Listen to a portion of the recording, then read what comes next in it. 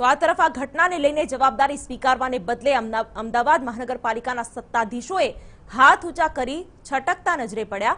અમદાવાદના મેયર બીજલ પટેલે સ્પષ્ટ શબ્દોમાં કહ્યું કે, ખાનગી મકાનો માટે કોર્પોરેશનની કોઈ પણ પ્રકારની જવાબદારી નથી હોતી. તો સ્ટેન્ડિંગ કમિટીના ચેરમેન અમૂલ ભટ્ટે મકાન માલિકો પર દોષનો ટોપલો ઢોળ્યો.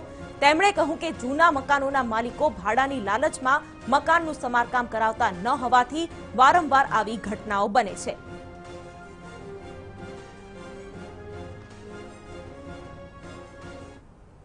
જે બન્યું છે એ દુઃખદાયક ઘટના છે.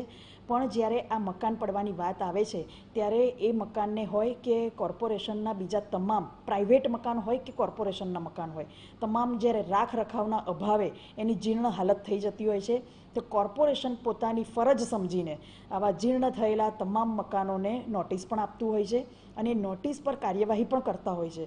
પણ જ્યારે કોર્પોરેશનના સંચાલિત મકાનો હોય તો એને બાયફોર્સ ખાલી કરાવી શકતા હોય છે, પણ પ્રાઇવેટ મકાનને ક્યારેય કોર્પોરેશન બાયફોર્સ ખાલી ના કરાવી શકે.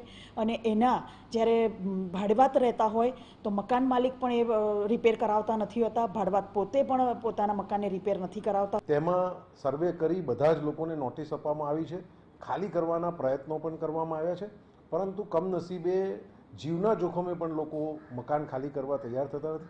બીજા પ્રાઇવેટ મકાસો, મકાનોમાં જ્યારે અમને ફરિયાદ મળે, તેના આધારે અમે નોટિસ આપતા હોય છે. આવા મકાનોને નોટિસ આપવામાં આવી છે.